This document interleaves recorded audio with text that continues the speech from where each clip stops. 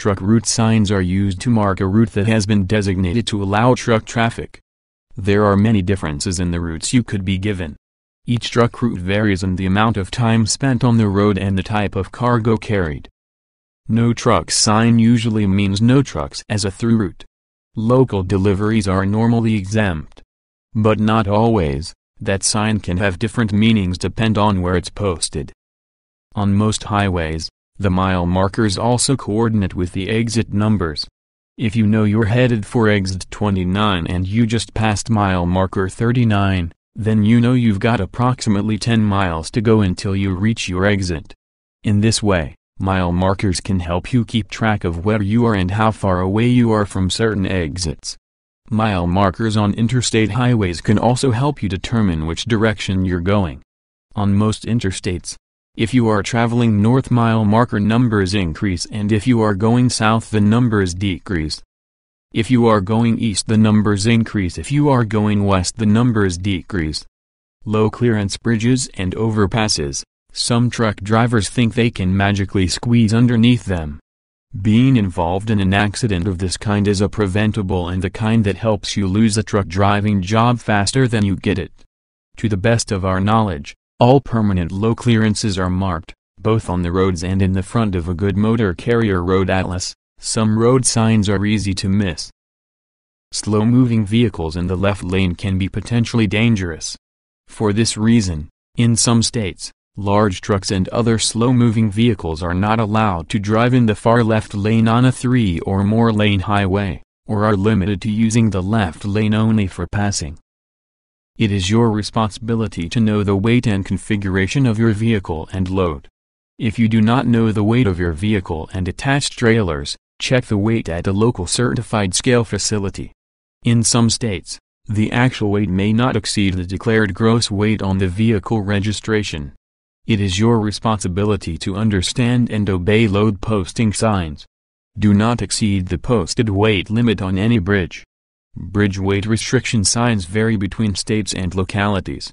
Weight limit signs carrying the legend weight limit 15 tons are used to indicate the maximum gross vehicle weight, including equipment being towed by the vehicle, that can safely cross the bridge. An axle weight limit sign applies to axle weight rather than gross load. The sign may read axle weight limit 7.5 tons or axle weight limit 15,000 pounds, indicating the maximum safe axle load of your vehicle and any equipment it is towing. If your load exceed posted capacities do not cross the bridge.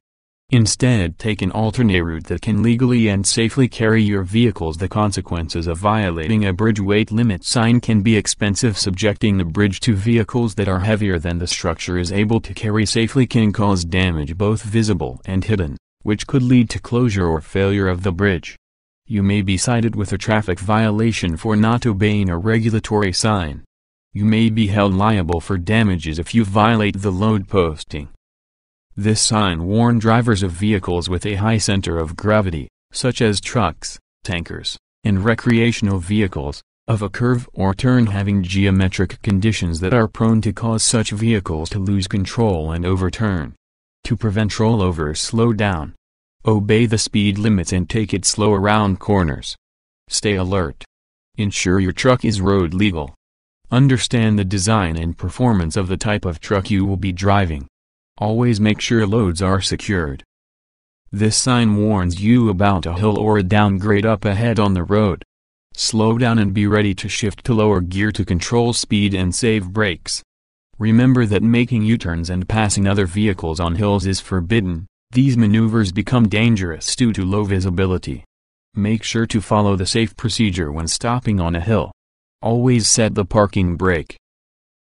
Weigh stations are in place to ensure trucks do not exceed the maximum axle weight and gross vehicle weight of 80,000 pounds without the proper permit. They are operated by the Department of Transportation or Department of Motor Vehicles depending on the state. Weigh stations categorize loads as either divisible or non-divisible. Divisible loads can be divided into smaller groups such as pallets. Non-divisible loads are large equipment, the interstate highway system is one of our nation's great assets, relied on every day by motorcoach, truck and automobile drivers across the U.S. The signboard gives you the exit number, city and or state and the miles to that destination, left exit or right exit, the clue is on the sign. Check out the Zello channel. Island Truckers Unite